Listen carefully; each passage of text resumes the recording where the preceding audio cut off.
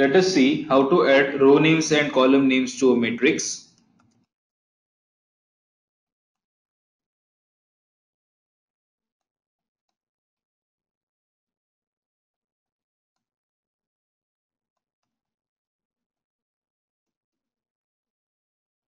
Let's create a matrix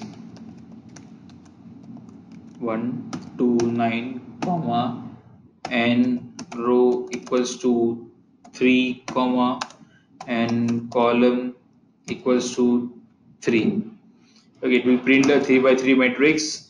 Even you can get the same result by just adding one dimension only. So let me just copy this. Let me just add n row equals to 3 okay let's see this. So even here you can see the same dimensions which has been provided let's try to create an another matrix here instead of n col equals to 3 so let us put by row equals to true. So it will fill your matrix by rows now. You can see earlier it was by columns now it is by rows so let me just add a comment over here for your understanding. Fill matrix row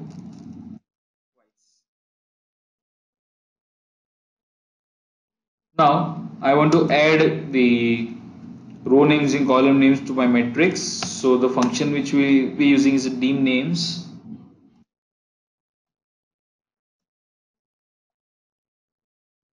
so again let's create a matrix x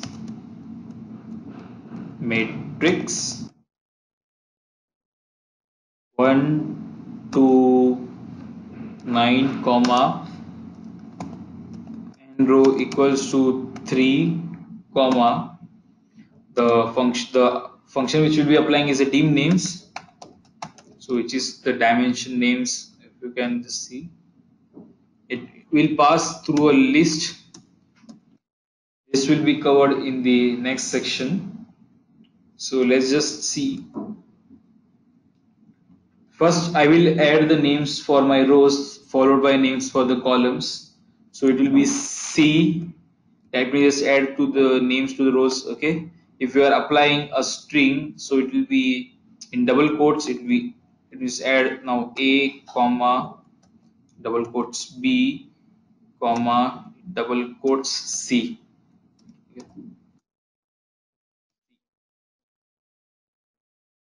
add a comma over here.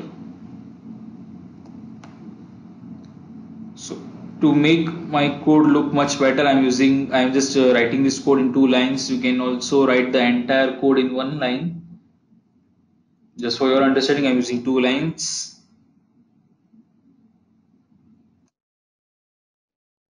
See let me just add uh, x comma add y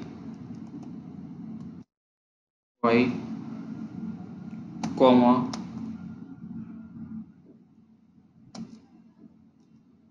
add z.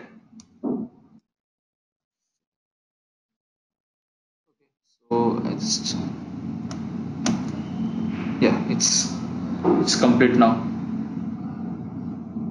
Let's do control enter let's print x so abc is my row names xyz is my column names. So this name can be accessed or changed with the helpful function called as row names and colnames. So let me just add the name of the functions for you all. Colnames and row names. Save your work now let me just get the colnames of my matrix. So it will be call names of x. To control enter so it's x y z. Let's get the row names. Row names of x. Let's do control enter. Here you can see the row, row names are printed. It is also to it is also possible to change the names. Suppose i want to change the colnames so let me just write a comment over here. Change names. So i'll just pass okay? Call names. So for for for for which uh, matrix you want to change the colnames? So it will be x. So it will be again c. Is you call name as c1 comma in bracket c2 comma c3 let's print this. Now let's print again x. You can see x y z is replaced by a b and c. Let's try to change the row names also. Row names of x round brackets r1 comma again r2 comma r3 let's print x. Here the row names are also updated. The another way of creating a matrix is by using the functions rbind and cbind which is also known as row bind and column bind. So let me add a comment over here r bind and c bind. Let's try this also. Let's do c bind so it will be c 1 comma 2 comma 3 comma c again 4 comma 5 comma 6 so it will bind to columns. So this is it. Let's try r bind. Instead of c bind i'll just change this to uh, r. R. Let's see r bind function. So here it is combined to two rows in previous case it was two columns. If I want to create a matrix let me just put it as uh, let me just call the new matrix as okay, this random name.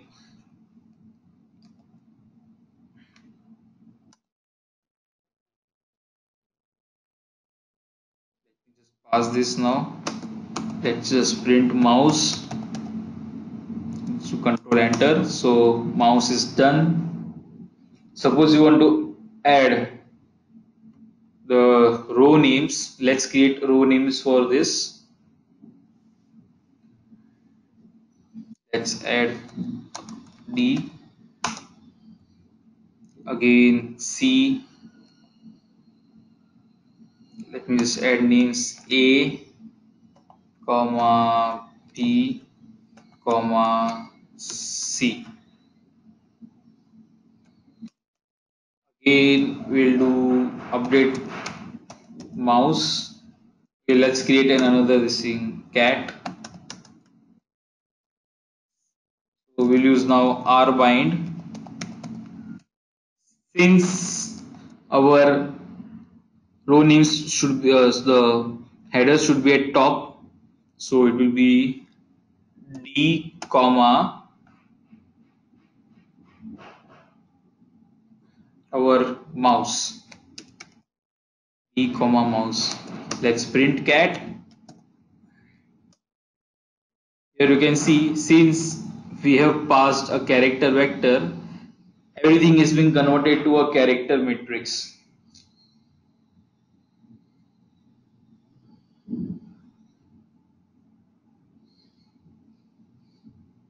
Now, uh, one more miscellaneous operator is remaining. So, which is the percentage star and uh, percentage. So, this is just to multiply matrix with the transpose. So, let's create a matrix M equals to you can use either equals to or you can use this sign also sorry it's this sign so right now i'm just using equals to so matrix just pass this c so let me just pass uh, i'm just want i just want to create a matrix of 2 by 3 2 just normal six elements. Okay let me just count. Okay so there's one more extra was extra comma n row equals to 2 comma n col equals to 3 comma let me just put by row equals to you can either put t or you can just put and you can just write true. Let's print m. You can see 2 3 4 5 6 7 if i just put n col 3 and i have not used this particular argument so it would have been 2 3 then 4 5 6 and 7 so let's try to do the transpose of m so to put a transpose use t and this pass through matrix m so your rows are interchanged by columns. In the normal way, if you want to multiply m, okay, m multiplied by t transpose of m. So this is not possible in the normal way. So this is the reason why this particular uh, operator is used. So this particular function is used. So let's create an another vector f where my values will be stored m percentage star percentage so it's percentage star percentage and transpose of m so now you can multiply with this let me just create now let me just print f yes you are done so you are getting the multiplication matrix by its transpose